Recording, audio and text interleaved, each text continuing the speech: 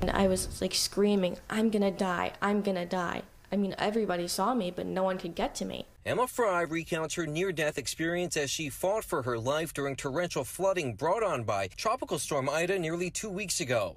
The 21 year old was traveling on Route 202 when she got stuck in the water, driving from a Raritan Township car dealership where she works to her home in Flemington. The roadway, she said, became a river in a matter of minutes. The water just got really high up in my car. It got up to about my knees, and I decided it was time to like get on the roof. As flooding got more intense, a floating car careened into hers, sending her into the water. She was able to cling on to this traffic sign, but the rushing water became too intense. I thought to myself, like, all right, you, you gotta let go now, you know, just do what you have to do.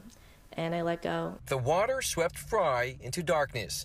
What could have been her last moments proved to be her strongest as the 21 year old refused to concede to Ida. I was getting pushed into trees and just like everything was hitting me. I'm on my own and I need to like really kick it into gear if I want to, you know, try to save myself. Thankfully, swimming lessons she took as a child kicked in. The backstroke became her saving grace.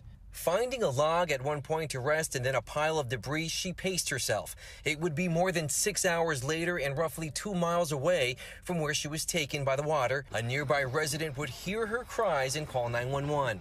Not a dry eye in the room for the reunion with her parents. The officer's voice was very excited. I, I kind of had a good feeling before he told us they found her, and he said they found her alive. She's tiny, um, but she's tiny but mighty, and you know she really does have a lot of uh, mental fortitude behind her. Aside from some cuts and bruises and a number of water bugs in her hair, Fry was in good shape. Her desire to live left unscathed.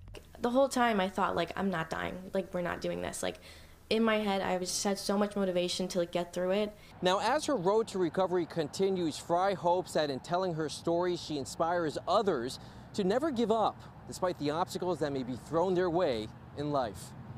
In Flemington, I'm Andrew Ramos, Pix 11 News.